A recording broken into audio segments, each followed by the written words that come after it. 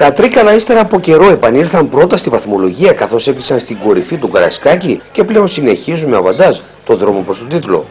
Στο Δημοτικό Στάδιο Τρικάλων υποδιαστήματα καταρακτώδης βροχής και με βραβεύσεις για την Περιφερειάρχη και Δήμαρχο για την κατάκτηση του κυπέλου, ο αθλητικός όμιλος Τρίκαλα νίκησε καθαρά και δίκαιη την ομάδα της Φιλιππιάδας με 2-0. Ο χορός των Φάσιων άνοιξε στο 13ο λεπτό με τον Γκέρι, ο οποίος από κοντά έστειλε την παρασταδίχτυα μετά από ζέντρα του Κουτσόπουλου, γεμίζοντας χαμόγελα να ακούσει του τρικαλινού φιλάθλους για την γρήγορη επίτευξη ενός γκολ, το οποίο επέβαλε και το άγχος για τους γηπεδούχους.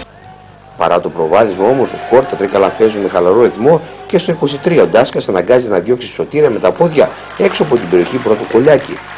Δύο λεπτά αργότερα είναι η Σεράκη πάλι του Τρικαλινών να αντιδράσουν, καθώς στο 25ο λεπτό ο Μινάς από κοντά σούταρε out.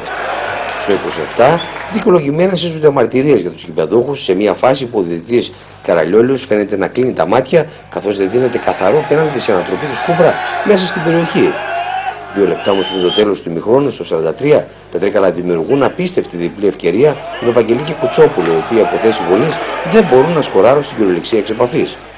Στην επανάληψη και στο 50, σε φάση διαρκείας, ο Σαράβας αποκρούεται εντυπωσιακά και αποσοβεί τον κίνδυνο μπροστά στην αιστεία του, διώχνοντας σε κόρνερ το σου του Κέρι, ενώ αμέσως μετά το κόρνερ στο σου του Παυθυμίου από κοντά η μπάλα τελικά θα φύγει out.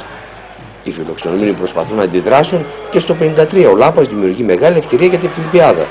Ενώ στο 87 το μάτς θεωρητικά τελειώνει, καθώς οι Τρικαλινοί σφραγίζουν την νίκη τους με τον κόλ του Πέντσα, ο οποίος εκμεταλλεύτηκε την παλιά του Κέρι και με έξυπνο τρόπο την έστειλε στα δίχια, κερδίζοντας το σωστό χειροκρότημα του φιλάθλου αλλά και τις αγκαλές του συμπεκτών του.